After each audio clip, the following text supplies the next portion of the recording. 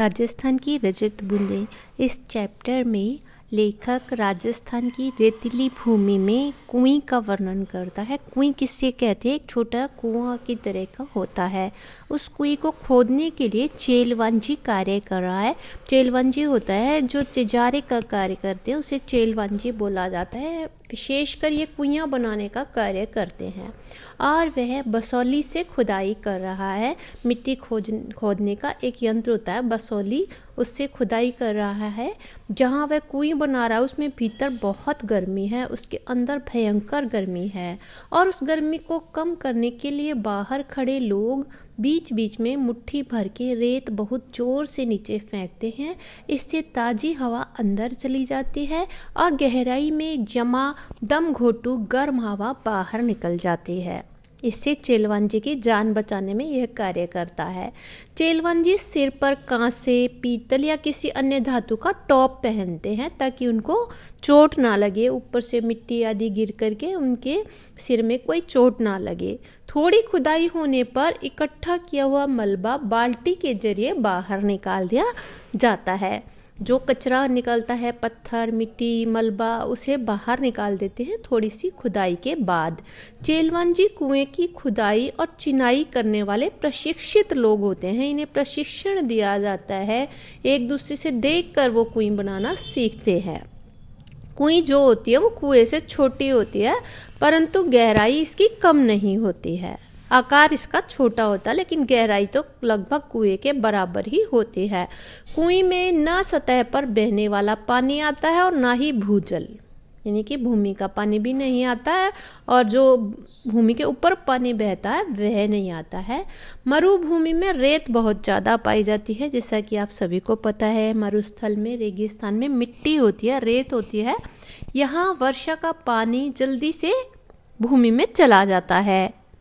और रेत की सतह से 10-15 हाथ से 50-60 हाथ नीचे खड़िया पत्थर की पट्टी होती है। खड़िया पत्थर होता है, चूना पत्थर की तरह का। उसकी एक पट्टी होती है, यानी परत होती है। इस पट्टी से मिट्टी के परिवर्तन का पता चलता है। कुओं का पानी इस क्षेत्र में खारा होता है। पीने के पानी के लिए यहाँ पर कुएँ बनाई जाती है। पट्टी का तभी पता चलता है जहाँ बरसात का पानी एकदम से मिट्टी में ना जाए। यह पट्टी वर्षा के पानी और गहरे खारे भूजल को मिलाने से रोकती है। अतः बरसात का पानी रेत में नमी की तरह फैल जाता है। तो रेत के कण अलग होते हैं, वे चिपकते नहीं हैं। पानी गिरने पर कण भारी हो जाते हैं, परंतु अपनी जगह नहीं छोड़ते हैं।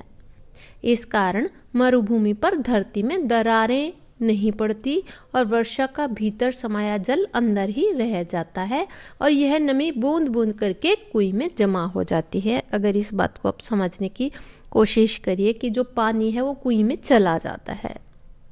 राजस्थान में पानी को तीन रूपों में बांटा जाता है। बहुत ही परीक्षा उपयोगी जानकारी मैं आपको बता रही हूँ। पालर पानी यानी सीधे बरसात से हमें जो पानी मिल रहा है, उसे क्या कहते हैं? पालर पानी कहते हैं और ये धरातल पर बहता है, यानी ज़मीन के ऊपर ऊपर बहता है। दूसरा तरह का जो पानी होता है, वो होता है पताल पानी, जो कुओं में से निकाला जाता है, यानी पताल में से निकाला जाता है।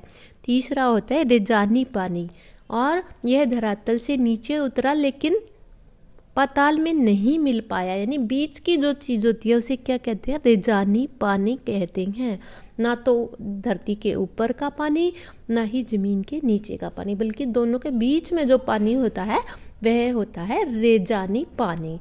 वर्षा की मात्रा रेजा शब्द से मापी जाती है। रेजा क्या है। वर्षा की मात्रा से मापी जाती है। जो धरती में जितनी वर्षा गई है, उसको नापता है रेजा। यह रेजानी पानी खड़िया पट्टी के कारण पताली पानी से अलग रह जाता है। अन्यथा यह खारा हो जाता है।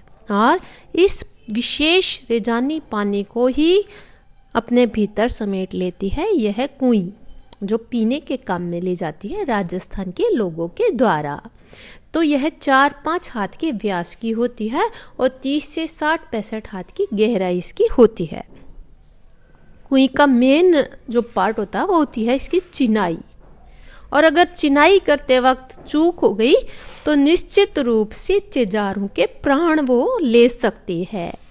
हर दिन खुदाई से निकले हुए मलबे को बाहर निकाल करके काम की चिनाई की जाती है। कुएँ की चिनाई ईंट या रस्से से की जाती है।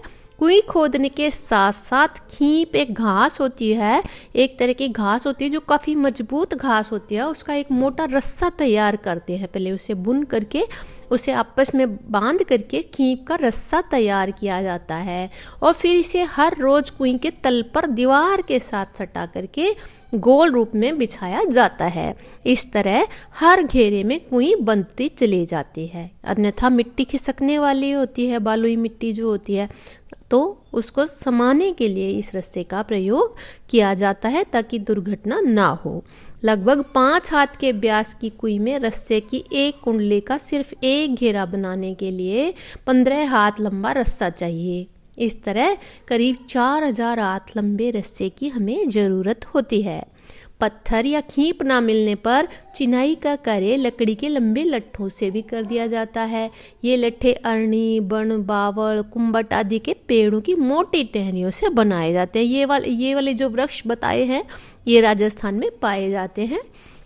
ये नीचे से ऊपर की ओर एक दूसरे में फंसाकर सीधे खड़े कर दिए जाते हैं।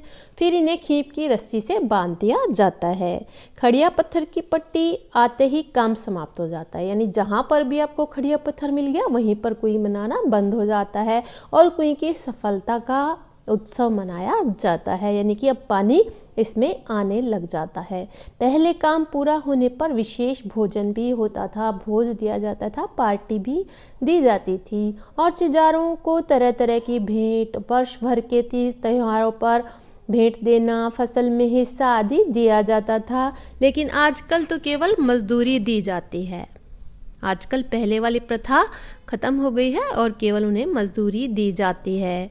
जैसलमेर में पालीवाल ब्राह्मण व मेघवाल गृहस्थी स्वयं खुद ही कुइयाँ बनाते थे। कुएँ का मुँह छोटा रखा जाता है। उसका कई सारे कारण होते हैं कि पहला रेत में जमा पानी से बूंदें धीरे धीरे रिसती हैं। मुँह बड़ा होने पर कम पानी अधिक फैल जाता है, इसलिए उसे निकाला नहीं जा सकता। तो कुएँ का मुँह छोटा रखा जाता है। छोटे व्यास की कुएँ में पानी दो चार हाथ की ऊंचाई ले लेता है। पानी निकालने के लिए छोटी चरस का प्रयोग किया जाता है। दूसरे छोटे मुँह को ढकना भी सरल है। अन्यथा पीने का पानी खत्म हो जाता है, खराब हो जाता है। और बड़े मुँह की कुई यदि हम रखेंगे तो भाप बन करके पानी उड़ जाएगा, इसलिए छोटी कुई बनाई जाती है। कुइयों के ढक्कनों पर ताले भी लगने लगे हैं। यदि कुई गहरी हो तो पानी खींचने की सुविधा के लिए उसके ऊपर घिरनी या चक्री भी लगाई जाती है, जिसे पुली बोलते हैं। और यह है घरेड़ी, चरखी, फरेड़ी, इसके कई सारे नाम होते हैं। वहाँ की अलग अलग भाषाओं में अलग अलग नाम होते हैं।